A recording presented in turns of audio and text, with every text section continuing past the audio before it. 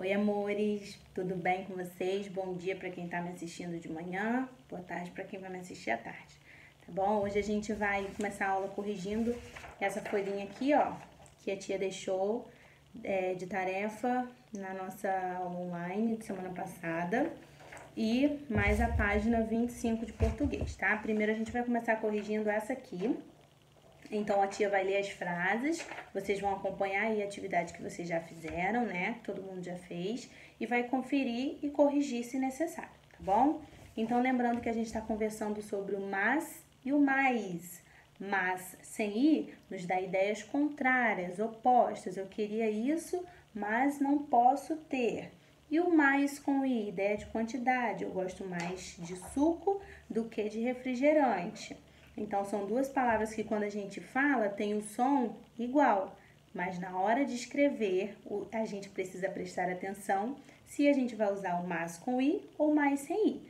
Combinado? E depois disso, eu espero que quando vocês forem começar a escrever, percebam. Hum, será que aqui vai ser uma ideia contrária ou vai ser uma ideia de quantidade? Então, esse mais é sem i, então esse mais é com i tá bom? Quando a tia ensina aqui é para vocês usarem toda vez que vocês forem escrever no WhatsApp, quando for escrever uma cartinha, um bilhete, ok? Não é só para aprender a fazer para atividade. A gente aprende a escrever para quando a gente for escrever para uma outra pessoa, tá bom? Então, começando aqui, ó, na folhinha 3 de português. Peguem aí e vamos começar a conferir, porque vocês já fizeram. Complete as frases usando mais ou mas e aqui a tia dá uma dica, ó. Mas são ideias contrárias, mais indica quantidade ou intensidade. Letra A. Vamos dedicar mais tempo aos estudos. Então, letra A, a gente completa com mais, com i. Letra B. Tia Márcia saiu agora, mas volta logo. Na letra B, a gente completa mas sem i. Letra C. Gostaria de ficar mais tempo aqui, mas tenho que ir ao médico. Na letra C, você tem duas lacunas para completar. Na primeira lacuna, gostaria de ficar mais tempo aqui. Quantidade, né? Ela queria ficar mais um pouquinho. Mas tenho que ir ao médico, então preciso ir embora. Tenho que ir ao médico. Mas, da segunda lacuna, sem ir. Bernardo é mais forte do que Lucas. Não, mais forte e mais alto do que Lucas. Então, nessas duas lacunas também na letra, na letra D, é a palavra mais nas duas, ó. Bernardo é mais forte e mais alto do que Lucas. Letra E. Caiu um temporal na cidade, mas não houve enchente. Ó, quando cai temporal, a gente acha que vão, vão haver enchentes, né? As ruas vão encher mas não houve. Então a ideia foi contrária daquilo que a gente pensa que vai acontecer. Então aqui na letra E a gente completa mas sem i. F. Clara saiu mais cedo de casa, mas não conseguiu pegar o ônibus. Ó, na letra F a primeira lacuna. Clara saiu mais cedo, mas não conseguiu pegar o ônibus. Se ela saiu mais cedo, ela tinha que conseguir pegar um ônibus mas ela não conseguiu. Então, na segunda lacuna, a gente completa com a palavrinha mais sem i. Paula fez um bolo, mas não gostou do sabor. E se ela fez um bolo, ela esperava que ficasse gostoso, mas não ficou, ela não gostou do sabor. Então, é o mais sem i. Hoje, o jornaleiro vendeu mais revistas que jornais. Quantidade, né? Então, a gente coloca um izinho, ó, e esse mais aí é com i. Foi? Espero que vocês tenham acertado bastante, porque na aula que a gente conversou sobre isso, vocês foram craques nos exemplos e eu gostei muito, tá? Agora a gente vai corrigir a página 25 de português, né? É, eu tenho certeza que foi fácil para vocês, porque antes disso a gente fez aquele ditado que foi um sucesso né? Nós corrigimos em aula. E as palavras que vocês vão escrever aqui são com L ou com U. Algumas vocês já sabem que a gente escreve com L, porque não sei se vocês perceberam, as palavras do ditado foram todas escritas com L. Então, se alguma se encaixava aqui, se vocês lembraram, e essa palavra eu escrevi no ditado, então aqui vai ser com L também. Vocês conseguiram fazer certinho. Ó, leia essas palavras retiradas do poema. Anel e chapéu. Anel, chapéu. Tem o mesmo som. Só que olha aqui na hora de escrever. Um é com L, no final e outra com U no final. Essas palavras a gente precisa observar bem e ver como elas são escritas, para que a gente não erre na hora de escrever, ok? Apesar de terminarem com letras diferentes, as duas palavras apresentam o som de U no final. O L em final de sílaba sempre possui o, final, o som de U. Então, aqui em anel, ó, tá no final da sílaba.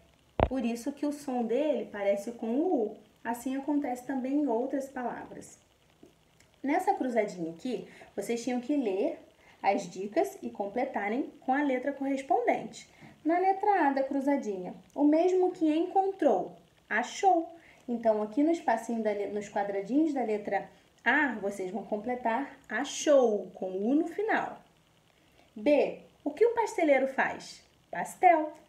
Então, aqui na letra B, vocês vão escrever pastel. Vocês escreveram, né, pastel com L no final. E essa palavra teve no ditado e já aprendi que pastel é com L. Então, aqui, ó, prestem atenção na hora de escrever, que vocês já conhecem essa palavra e já sabem como elas são escritas. O mesmo que tacou, jogou, né? Vou tacar um negócio ali, vou jogar o um negócio ali. Então, as palavras né, têm o mesmo sentido. Jogou com U no final.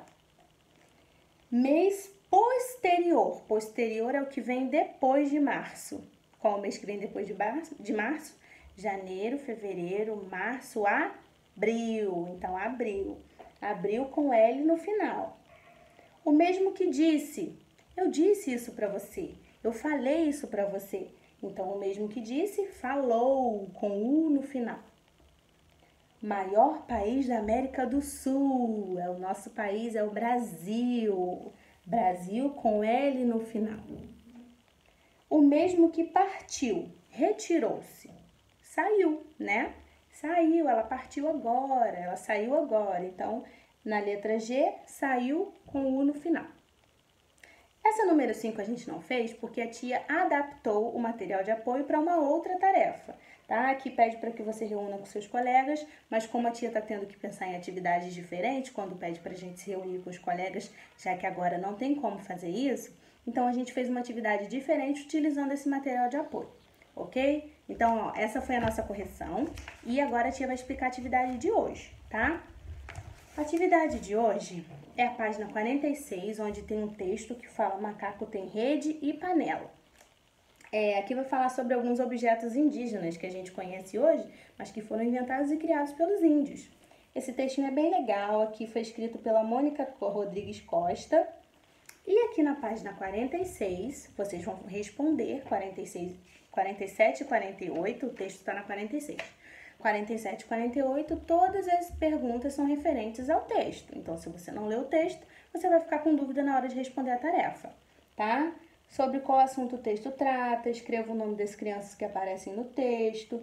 Então a tia vai fazer o seguinte: vocês vão ler o enunciado, vocês vão ver o que o livro está pedindo, lembrando que é muito importante a gente ler o enunciado, além de ler o texto, ler o enunciado com atenção para saber o que é que o livro está pedindo. Não adianta fazer com pressa achando que é para fazer uma coisa, quando a tia for corrigir, vocês, ih, não era para fazer isso. No enunciado explica o que é que quer de vocês tá bom? Então, todas as perguntas são referentes ao texto. Na 48, a mesma coisa. Ó, número 1, um, macaco, no texto macaco tem rede panela, então, ó, tá se referindo ao texto que vocês precisam ler. Aparecem duas sílabas do vocabulário, duas palavras do vocabulário indígena. Quais são? Então, vocês vão ler e vão ver quais são as palavras que se originaram lá com os indígenas, né? Quem tiver alguma dúvida, se não souber, pode deixar em branco, que quando a gente for corrigir essa aqui, a gente conversa sobre isso. Só que vocês precisam tentar fazer, tá? É, deixa eu ver se tem alguma atividade que seja muito diferente do que vocês estão acostumados a fazer para explicar. A tia não tá lendo pergunta por pergunta, porque vocês já sabem ler anunciado, já sabem interpretar e já entendem o que, que a atividade quer, não é verdade? Então vamos lá.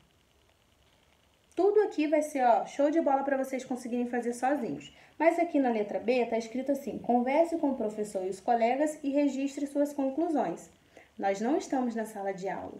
Então, vai ser difícil a gente conversar com os colegas. Você só vai pôr a sua resposta e se a gente for corrigir esse dever aqui numa aula online, talvez, aí você vai ler a sua resposta para os amigos, tá bom? Mas não deixem de responder E não tentem responder sem ler o texto, senão vai ficar uma resposta nada a ver com o que está perguntando, tá bom? Conto com vocês, é só isso que vocês vão precisar fazer no livro.